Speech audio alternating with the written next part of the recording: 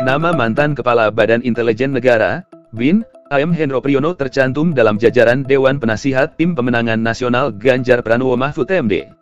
Namun Hendro Priyono justru heran namanya masuk dalam tim pemenangan Capres-Cawapres nomor urut 3 yang diusung PDI Perjuangan, P3, Perindo dan Hanura tersebut. Mertua Jenderal Purnawirawan TNI Andika Perkasa itu membantah dirinya masuk dalam TPN Ganjar Mahfud. Apalagi sebelumnya, Hendro Priyono merasa tidak ada pihak yang menghubunginya terkait posisinya menghadapi Pilpres 2024. Pernyataan Hendro Priyono ini cukup mengejutkan, karena artinya dia dimasukkan dalam tim pemenangan Ganjar Mahfud tanpa konfirmasi sebelumnya dari dirinya. Mengapa tim TPN Ganjar Mahfud melakukan hal itu?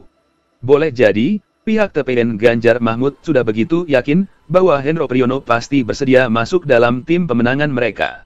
Padahal, jika melihat pernyataan Hendro belakangan, ada kecenderungan Hendro Priyono mendekat ke pasangan Prabowo Gibran.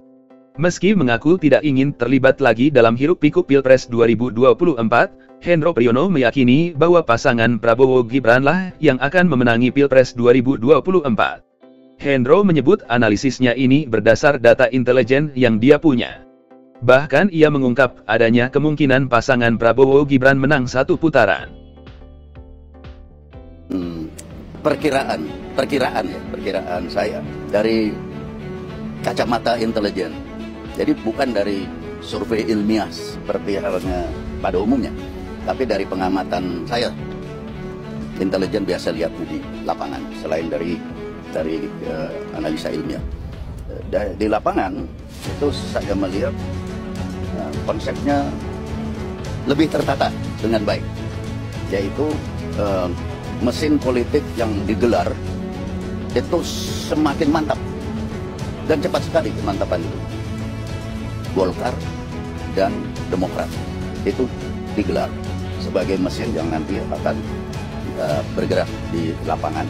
Tapi uh, ada lagi yang bertanggung jawab terhadap manuver seperti kampanye-kampanye itu dilengkapi dengan sistem uh, administrasi, logistik, keuangan yang sangat bagus, yaitu Partai Gerindra.